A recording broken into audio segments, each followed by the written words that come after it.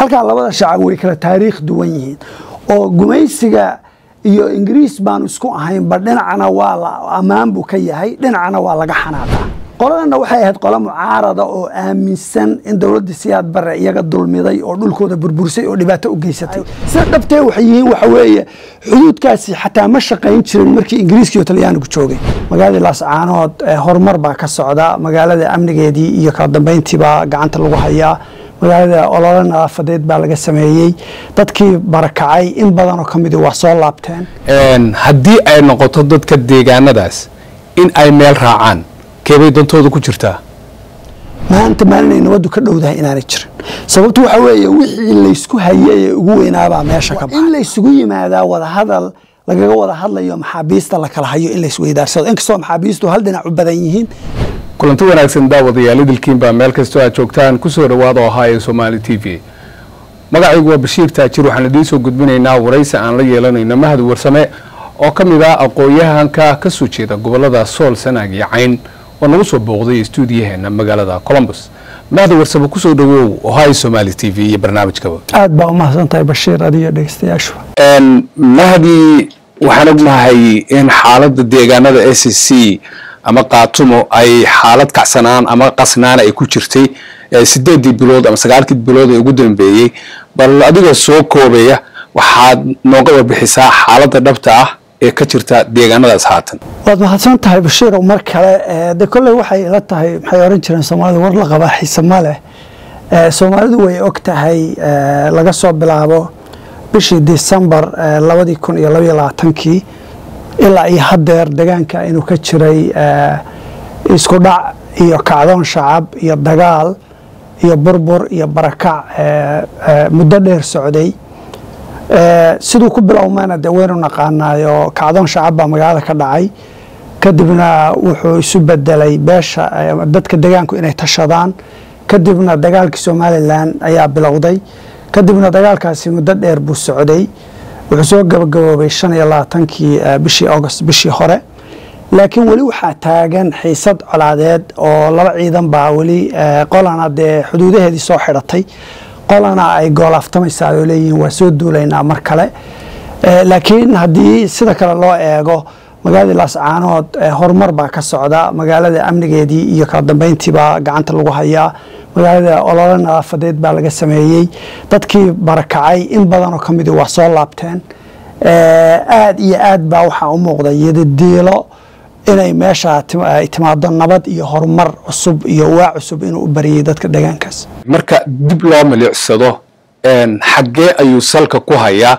Khilaafka dadka deegaanka s c iyo maamulka somalilan walaal bashiiro waad mahadsan tahay horta waa taariikh dheer de haddaan hadda bilaabana ma dhammayn karo. Laakiin wuxuu salka ku hayaa waxaan odhan karaa shan arrimood baa ugu muhiimsan.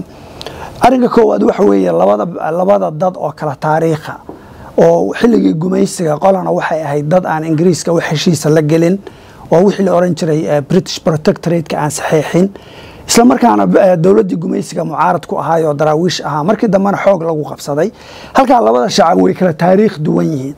Oo gumaysiga iyo ingiriis baanu isku ahaynba dhinacna waa la ammaan buu ka yahay dhinacna waa laga xanaaqaa oo waaba dad maarata markaad qofka qofka deegaankan s c markaad ku tiraadid ingiriis baa ina wada gumaystay iyada laftigeeda ay caayi u arkaan iyo aflagaado halkaas waa arrin lagu taariikhdaa keenaysa oo waa dad kala taariikh duwan mid labaad oo taariikhdu keenaysaa waxa weeye markii dowladdii siyaad bare jirtay dadkani kamay mid ahayn dadkii dowladda mucaaraday ee maaragtay ku hamiyey inay maaragtay dowladda ku kacaan ama jabhadaha samaystay. Dadkani waxay ahaayeen dadkii caadiga nabadda iskaga noolaaye dagaaladii sokeeyaba aan geline dowladda siyaad bare iyo dowladda soomaaliya hoos joogay.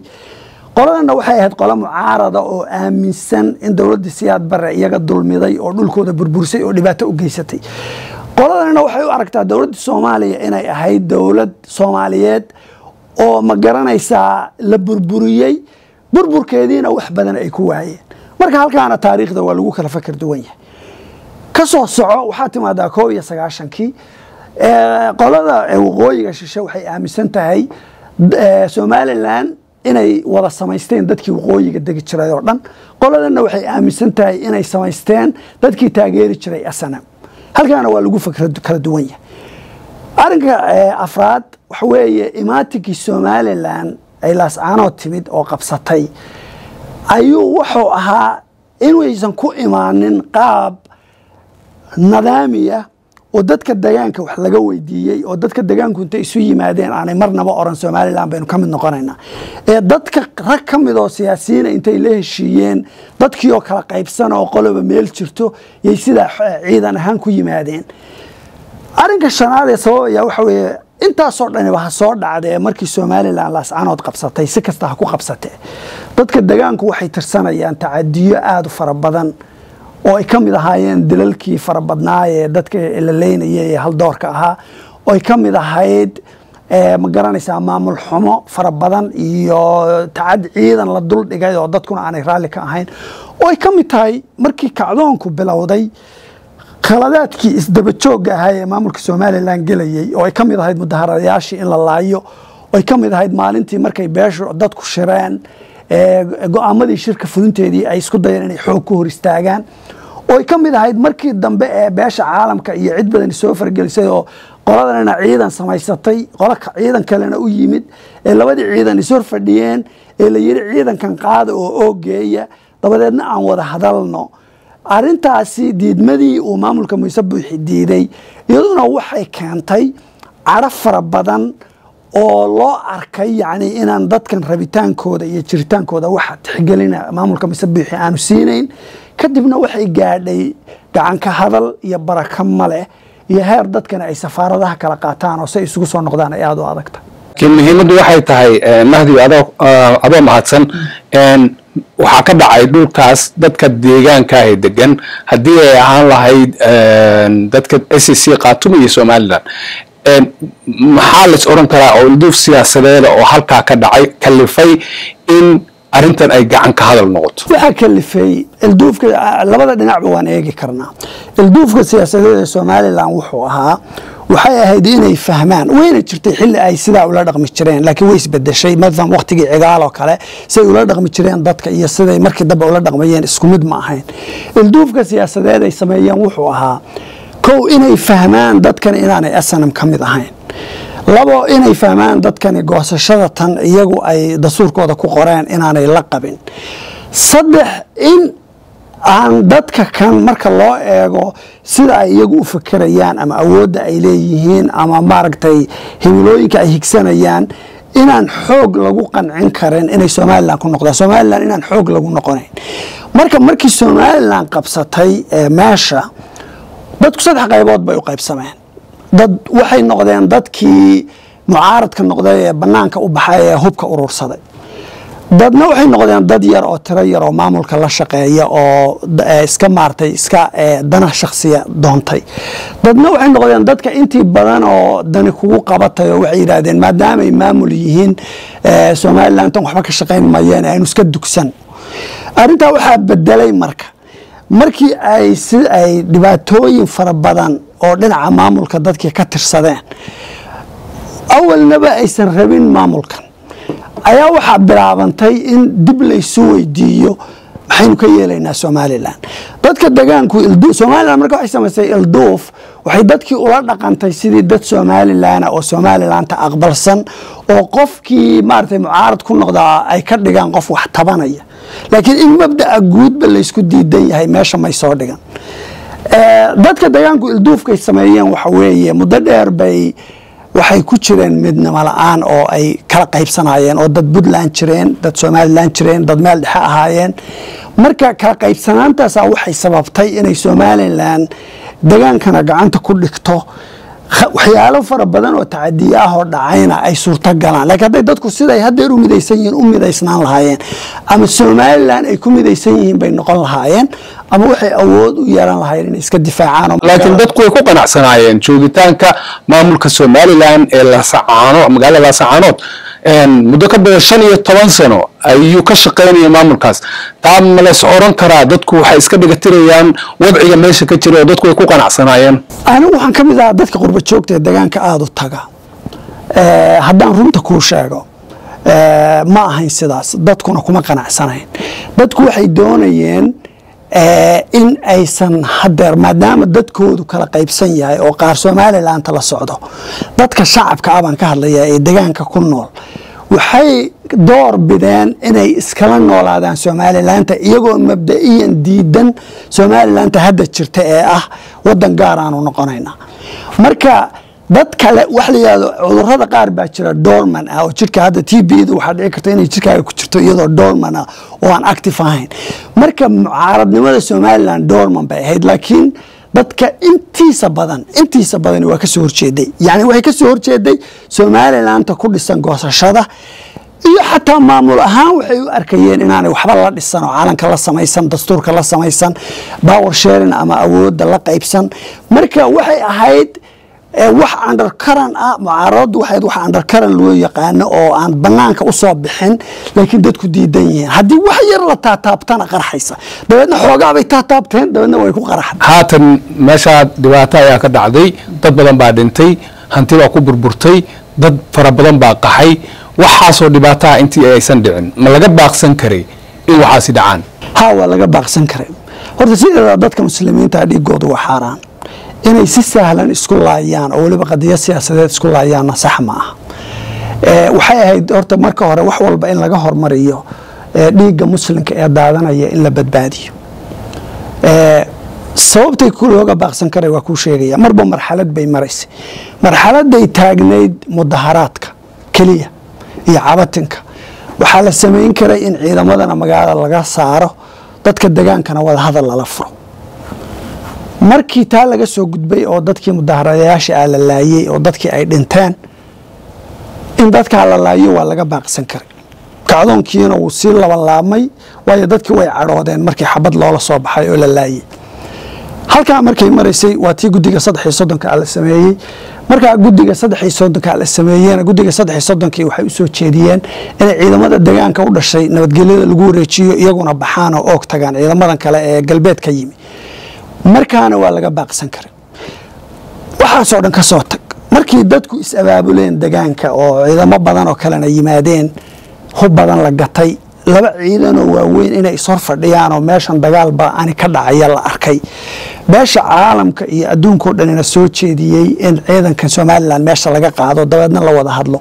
Markaana waa laga baaqsan karay. Hadeerna hadeerna waxaan anigu aaminsanahay inay ka dhowdahay maanta maalinay nabaddu ka dhowdahay inaanay jirin. Sababto waxaa weeye wixii laysku hayay ee ugu weynaabaa meesha ka baxay. Waxaa meesha ka baxay qola leh degaankan annagaa leh ciidankiina oog la taga. Haddaynu wax kale wax ka wada hadlaynana marka aan ka wada hadla waad mahadsantahay. Somalilan waxay ictiqaadsan tahay haatan in dhul ka mida dhulkeedii uu gacanteeda ka maqan yahay. Abaabul iyo hadalhayn fara badanna ay socoto la leeyahay waa in ciidamada la fasaxa waa in halkaa la tagaa haddii hadda dadka deegaanku ay ku qanacsan yihiin in dhulkooda ay joogaan somalilan waxay ayaga aaminsan tahay in dhul ka maqan yahay. Waa runta waa runta. Waxay odhan jireen nin qab weyn iyo nin aan u qabin laakiin waxbaan kuu sheegaya. Waxa realitiga ah ama xaqiiqada ah oo sida maaragtay qoraxda u cad layskama indha tiro. Waxaa meesha yaalla sheegasho somalilan oo odhanaysa dal gaaraanu nahay. Iyo dadka degaanka degan oo aan la aaminsanayn haddii la rabo in somalilan ay ay ku maaratay ku dhaqanto wax la yidhahdo wishful thinking waxa iyadu ay rabto iyo siday jeceshahay hadday rabtana des waa la isku baaba'ayaayoo dhibaataa dhacaysa haddii la rabo in xaqiiqada meesha taalla la wajahana xaqiiqada meesha taalla waxa weeye dadka degaanku waxay aaminsan yihiin xuduud aanka soomaaliya jabuuti iyo etoobiya iyo kenya la leedahay oo soomaaliya dhexdeeda ka jira inaanu jirin. Waxay aaminsan yihiin xataa hadduu jiro cidda sheeganaysa oo leh xuduud baanu samaysanay inay iyagu samaystaan iyagu qayb aanay ka ahayn.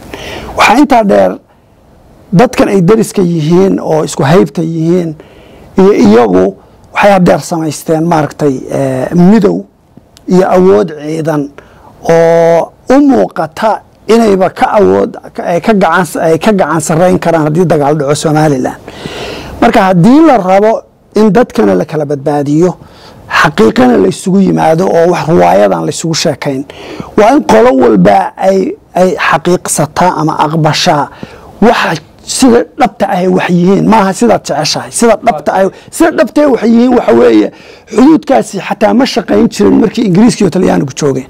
Xataa waagaa ma shaqayn jirin. Haddeer iska daay. Waxaan u soo laabanaynaa haatan deegaanada a c c qaatumo maamul ayaa looga dhawaaqay. Maamulkaas beelo ayaa ka maqan dega qaybo ka mida gobollada sool sanaag iyo cayn suurtagal ma tahay iyadoo qaar ka mida beelihii deegaanadaasi ay ka maqan yihiin in maamul la dhiso. Horta saddex gobol saddex gobol oo waxaa jira ay beeluhu beeshan hartiga iyo isaaqu ay wada degaan. Gobolka sanaag degmada waxaa weeye degmooyinkiisa laba degmo mooyaane inta kale waxay khaas u yihiin hartiga degmada ceergaaba waa la wada degaa. Waxaan umaynaya waa kala badh waa fifty fifty degmada ceel af weynna waxay khaas u tahay beesha isaaq. Gobolka sool degmada caynabaa la wada degaa. Inta kale waxay waxay khaas u tahay beesha harti.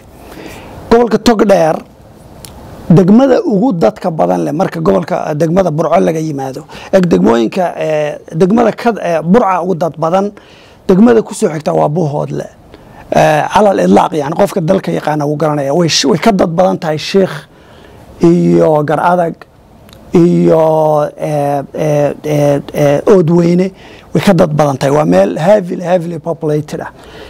Intaasaa la wada degan yahay. Intaa marka haddeer meel maamulku ka dhaxeeyo waxaa jira ceergaabo iyadana waa laga wada hadli karaa inta kale waa la kala soocan yahay maamul ahaan way kala soocmeen.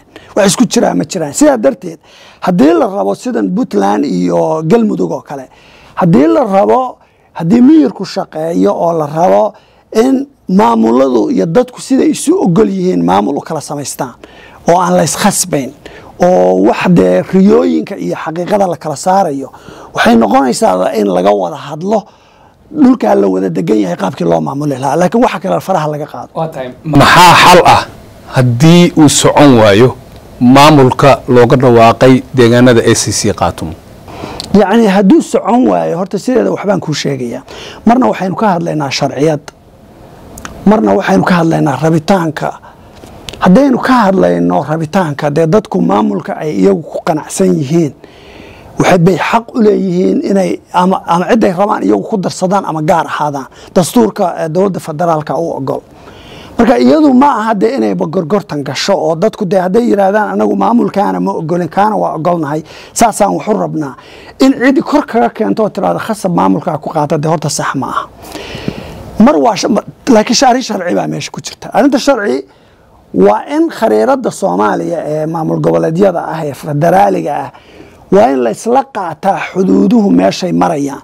Waxaa jira guddi la yiraahdo guddiga xuduudaha oo la yira hala sameeyo dastuurka qabyo ah. Marka haddii la doonayo dadkani xuduudku meeshuu marayo iyo maamul ahaan dadkani meeshay raacayaan waxay ka mid noqonaysaa sharci u samaynta iyo jaangooyinta xuduudaha federaalka ee soomaaliya ayay qayb ka noqonaysaa. Taana waxay ku xidhan tahay marba se iyagu ula yimaadaan inay shuruudihii ka soo baxeen. Hadday shuruudaha sharciga ah ee dastuurku u ogol yahay ka soo baxeen dee u malayn maayo in cid intay meel fadhiisato tiraahdo laydinma ogola inaad maamul ay noqoto. Dadka deegaanada sool sanaag iyo cayn muddo fara badan ayaa labada maamul ee somalilan iyo puntland ay kala sheeganayeen. Haddii ay noqoto dadka deegaanadaas in ay meel raacaan keebay dantooda ku jirtaa anigu haddeer ma rabo inaan idhaahdo taasaa dantooda ku jirtaa. Laakiin waxaan rabaa inaan idhaahdo horta marka hore hal arrin baa ka asala. Arrinkaasi waxa weeye in aya ka talinta dadka iyaga faraha looga qaado. Eg waxa laysku hayey ma ahayn. Somalilan baad noqonaysaan iyo baatiin iyo noqon iyo manihin keliya ma ahayn. Waxay ahayd aya ka talinta dadkani maamul ahaan cidda ay ku biirayaan idinku go'aan kama gaari kartaan in qolo kale tiraahdo de waxaan umaynayaa meel ay soomaaliya ka dhacday oo deegaanka ahayna ma jirto. Marka labaad haddii la yiraahdo yaadan ugu jirtaa de iyagu cidday yiraahdaan waa ku biiraynaa ama waa ama ama ama ama ku adiga mahdi ahaan ra'yigaagu xaggee buu jiraa maadaama dadka deegaankana aad ka soo jeedo aqoon-yahankana aad ka mid tahay ra'yigaagu xaggee jiraa. Anigu waxaan aaminsanahay markaan anigu sida sida dadka qaarkii uu oran maayo sidaasaan rabaayo inay ilaaba ilaa sidaa u dhacdaa. Laakiin waxaan rabaa reality on the ground sida meesha uga jira inaan kuu sheego. Dadka degaanku haddeer way adag tahay aad iyo aad bay u adag tahay. In lagu qanciyo inay somalilan mar kale wax la yeeshaan. Yani waxay gaadhay heer safaaradaha la kala qaato oo baraka mala ah. Laakiin dhinaca puntland unbaa calaamad su'aal saaran tahay puntland waxaan filayaa inay soo socoto qaab wada hadal ah oo iyaga iyo puntland dhex mara. Waxaan u maleynayaa laba midun bay ku wada hadli doonaan. Puntlandtii hore oo wax laga bedelay oo la ballaariyey inay wada noqdaan iyo inay laba maamul oo maaragtay isgarabsado oo mataanaan noqdaan oo qolo walbaa sharciyadeeda iyo sistamkeedu gaar u yahay miday qaadan doonaan anigu hadeer war uma hayo. Laakiin hadeer cidda ay isku ciidanka yihiin ee isku dhex jiraan ee isogol yihiin ee isku siyaasadda yihiin waa puntland laakiin xagga sharciyadda marka dib hadhow loo noqdo oo xuduudaha federaalka la calaamadinayo. Sidee bay noqonaysaa? Taa kama jawaabi karo. Laakiin waxaan aaminsanaha inay inay ta somalilan aada u adkaanayso xataa hadday somalilan maamul goboleed noqoto oo goosashada ka tanaasulaan anigu waxaan u malaynayaa inuu tareenku stationka ka dhaqaaqay. Aad bay u adag tahay wixii dhacay sababteeda darteed inay adag tahay inay maamul wada yeeshaan mar dambe. Aad bay u adag tahay. Maaha anigu kumali anaa saa jecel kumali saasaan aaminsanahay laakiin waaqicaan kuu sheegaya ugu dambayntii mahdi ma jirtaa wax fariina oo aad la wadaagayso dadka deegaanadaas iyo guud ahaan labada dhinac ee dhibaatadu ka dhexdhacday? Horta anigu waxaan ahaa dadka nabadda taageersan. Hadeerna waa ahay waan ahaan doonaa insha allah. Aada iyo aad baana uga xumahay wixii dhacay labada dhinacba waxaana aaminsanahay haddii dadka guurtida ah oo labada dhinac ka mid a ee waxgaradka ah ee culimada ah ee ma garanaysaa samaka taliska ay talada gacanta ku dhigaan in laga maarmi karo dagaal kale inuu dhaco. Waayo wax hadeer weyn oo siyaasadda himilada somalilan ee fog shacabka lagu beeray marka laga yimaado wax laysku hayo weyn hadeer meesha ma yaalin. Qolo walbaa degaankeedii bay joogtaa. Nin oday ahoo caaqilahoo cali koore la oran jiray baa waxaa laga hayaa anigu dadka nool baan u taliyaa. Dad kuwa nool baan caaqilo ah dadka nool ha loo taliyo. Qolo walbaa meesha ay hadeer joogtan ayay soo dhaafin hana laga wada hadlo. Hadday jiraan eg maxaa laga wada hadli karaa saddex wax oo deg deg in looga wada hadlo u baahan baa jira oo hadeer yaalla laakiin kama mid aha sida dadku moodayaan maaha. Ko xabad joojinta in laga wada hadlo wey. Maxaa diidaya in la yidhaahdo labada ciidan aan kala durkino oo degaankaasoo dhan baferson ha noqdo oo qolanayo ciidanka qolada kale u soo dhaweyna waa laga wada hadli karaa waana la gaari karaa. Waxaa markii xabad joojintaasi hirgasho waa in laysugu yimaadaa wadahadal lagaga wada hadlayo maxaabiista la kala hayo in laisweydaarsado inkastoo maxaabiistu hal dhinac u badan yihiin laakiin maxaabiista iyo sidii loo kala qaadan lahaa in laisweydaarsado saddex labadaasi markay hirgalaan oo nabadi hirgasho wada noolaanshaha labada bulsho oo xaggii ganacsiga hadda waxaa jirta wadadii dheerayd ee laamiga ahayd ee wadanka isku xiri jirtay hadeer way go-an tahay. Isuma gudbaan baabuurtu. Sidii ganacsiga loo soo celin lahaa sidii waddooyinka loo furi lahaa iyo haddii ay qola dood wadato siyaasadeed ilaan somalilan moogtahay waxa qolana go'aan bay leedahay qolana go'aan bay leedahay haddii qolo ay dood wadato inay doodda miiska soo saaraan oo wada hadalka yimaadaan. Maaha in laga qaadanayo macnaheedu. Laakiin ugu yaraanta inay isku dayaan hadday dood wataan hadday dadka maalan s c khatuma ay dood u qabaan somalilan ama dhinac kale dood u qabo markaa laga wada hadlo. Laakiin haddeer maxaa priority? Kow xabad joojin labo maxaabiista oo laga hadlo iyo dhaawacyada la hayo iyo saddex arrimihii bulshada iyo wada noolaanshihii in laga hadlo. Sabab caqliga geli karta diin iyo caqli oo dagaalkaasi ku sii socdo aniga ima muuqato. Wax laga faa'iidayo labada dhinac midnaba aniga ima muuqato. Waa tahay aad baad u mahadsan tahay kaasi waxa uu ahaa mahdi warsame oo ka mid ah aqoon-yahanka jeeda gobollada sool sanaag yacayn oo noogu warramayay stuudiyaheena magaalada colombus mahdi waxaan kaaga mahad celinaynaa wakhtiga aad noo aad